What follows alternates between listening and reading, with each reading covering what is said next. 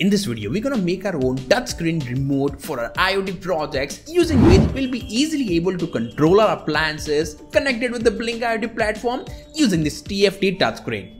Now previously I made the similar project but with the help of an e-paper display from LilyGO uh, which was not easily available in the market and hence you all requested me to make the same project with an TFT touch display. And the main thing here is that we have designed this complete project on our own with a custom designed PCB unlike the previous one which was a complete ready-made board. So you'll be learning quite a lot of things as compared to the previous video. So let's get started. So for making this project, you'll need a TFT touchscreen module. Now here I have used this ILI 9341 based 240 by 320 TFT touchscreen display with built-in SD card reader. You'll get its purchase link in the description. After that, you'll need an ESP32 module. Now, as we wanted to make this project more compact, we use this rather than the ESP32 development board. Then we'll need a rechargeable battery and a TP4056 battery charging module. Then to regulate the voltage, we have used this HT7333 LDO voltage regulator and after that, you'll need a couple of resistors, capacitors, two push buttons and an on-off switch. I have mentioned the complete components requirement in the article whose link you can find in the description. After getting all the components, you need to connect them all according to this schematic. Now to make this project more compact and handy, we designed our own custom PCB for this project and gave its order to JLC PCB. You can also order your own custom designed PCBs by just uploading the Gerber file of the PCB project, select the color masking if you want it, and just pay for your order and after that you'll be getting the PCBs delivered directly at your doorsteps. So try ordering your own custom designed PCB from JLC PCB to make your project looks neat and more compact. Now after getting those PCBs, we started soldering the components on it one by one and after soldering them all, it looked something like this. Neat and handy. Well, you may have noticed some extra connectors here, but don't worry, uh, they are attached for some other projects. Now after the hardware part, we decided to make a case for it and we found this black box in the market. Now with the help of Kedar, we were able to cut down a window inside this box by which we were easily able to fit our project in it. With this, the hardware and the casing part is done. Now we are just left with the coding part. So let's start with the coding part of this project. So here is the code used for this project. Let me just go through this code and explain you all the important part. So first of all, all the necessary libraries are declared here. So you need to have this library called as tftespi.h installed on your computer. Okay. Now if you don't have this library, then just go to sketch into include library into manage libraries. Now here just search for tft underscore espi, press enter and here is the library which you require uh, to compile this code okay? So just click on install and this library will automatically install on your Arduino IDE that's it. After that uh, here as you can see there is one new header file declared which is xbm.h now this is nothing but the image file like the hex formatted image file which will be shown onto the display. So what I did in this project is that as soon as this board gets powered on, first of all, my logo will be displayed for a couple of seconds and after that it will start connecting to the Wi-Fi and will uh, do all its tasks, okay? But first of all, the image, the logo will be displayed and uh, how, how to add the logo? You can add the logo or any image by converting into the hex format, okay? So that hex formatted logo is provided here inside the xbm.h uh, header file, you can say, okay? Now the question is how to convert your regular image into the hex formatted image well, uh, it's very easy. Let me just show you the steps. First of all, you have to click on this link. It will redirect you to one website. Okay, so here is the website. Now here you need to choose the logo, the image that you want to display at the very beginning. Okay, so uh, what I did is I just converted my logo first of all into the format 240 by 320. That's the dim dimension of our display. Okay, so first uh, you have to select the image. After that, just go to the canva.com website where you can resize your image. Uh, here you just make your account and log in into that account. After that, uh, click on create a design and here just scroll down and click on this plus icon here uh, set the width as like the width is a 240 okay. Uh, it's 240 and the height is 320 and uh, you have to select pixel here.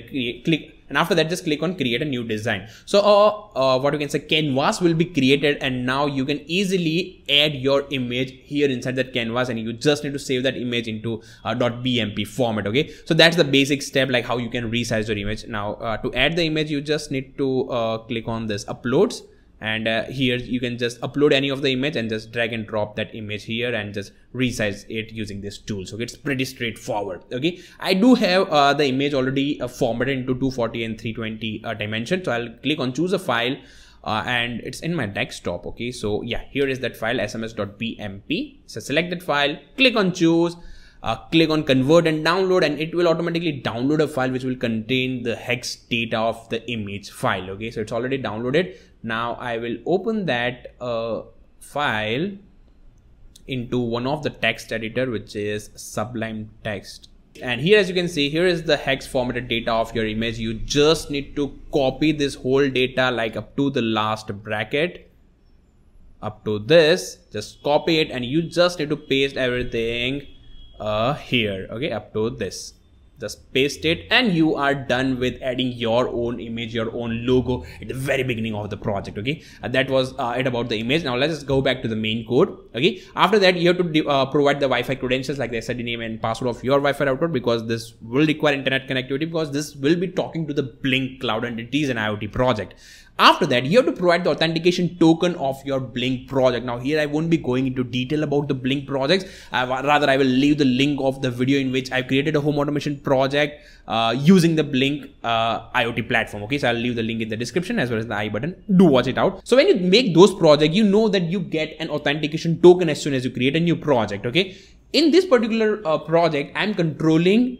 two different rooms or we can say two different boards. And for that purpose i have provided two different authentication tokens okay? One for room one and another for room two okay? So that's the reason of adding two authentication token so just create two different Blynk projects and add your own authentication token here okay? So that's the change like these all four parameters you just need to change on your computer on your code and you can directly upload it and it will work okay? But still let me make you understand the rest of the code as well okay Straight after that, uh, as we go inside the void setup, as you can see, we are just now beginning the serial communication, beginning the TFT display. After that, we are calling this function called as show Wi-Fi connectivity, which will just connect our ESP32 board with the Wi-Fi whose credentials we have provided. It will display all the data like whether it is connecting or getting connected onto the TFT display. So that's the function uh, called here. After that, we are just, you know, erasing the display by calling a fill screen function to turn it black. After that, we are calling the function called as buttons, which will just print all the buttons like the on off buttons as well as the room one and room two buttons onto the display. So it's like a structure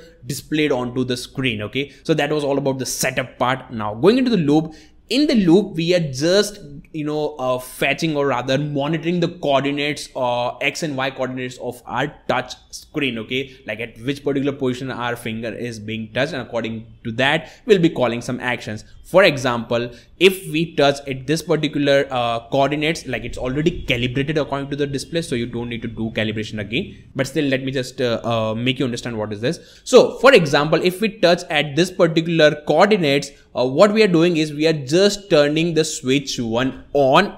After that we are providing a switch state as 1 1 now what does this mean? This means that we are sending the data 1 to switch 1 similarly if we touch at this particular coordinates what we are doing is we are sending the data 1 that is we are turning on the switch which is 2 okay? The switch i'm sorry.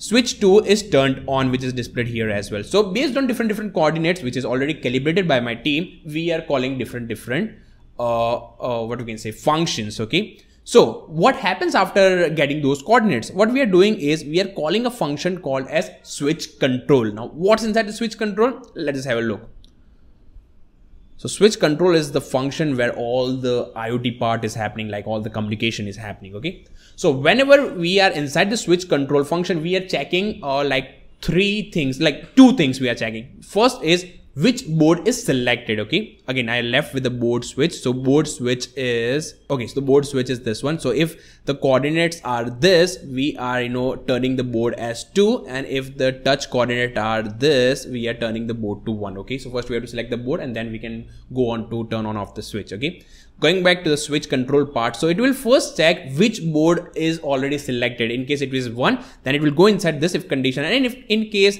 the board is 2 it will go inside this if condition. Pretty simple. After that we are just checking the switch state. Is it 1 0 that means is do we want to send the data 0 at switch 1 if is it so what we are doing is we are sending the authentication token board as board 1 because of course this is for the board 1 after that we are sending that pin value as v1 because we are sending the data to uh, uh, according to switch 1 and we are sending the data 0 because here it is displayed at 0 okay? So as soon as we received switch uh, state 1 0 we are sending the data 0 at switch 1 and accordingly we are sending the data to v2 v3 v4 pins uh, respectively okay? Like 1 and 0 turn on and off. So that's the pretty simple code uh, made using the esp32 using the tft touchscreen okay? Like it's pretty straightforward and simple to understand like when you go through the code you'll be able to understand the importance of each and every line okay? So that's pretty much it. Now before pressing the upload button you first need to connect our project with your esp32 development board according to this connection diagram just to upload the code inside that project after that, just click on this upload button. After clicking on the upload button, you just need to press and hold the boot button on the project. And after that, press uh, the reset button once and release it. Now, this will make our project to go inside the boot mode. Okay, so the code is successfully uploaded and we are done with all the parts of our project. Now I'll simply insert my project inside the casing and now let's see this project in action. So as you can see, my logo is displayed at the beginning and after that it shows like connecting to the Wi-Fi. It was successfully connected and now as you can see all the buttons are displayed on the screen. Now first, what I'll do, I'll select the room 1 and I'll try to control the appliances of the room 1 or we can say board 1.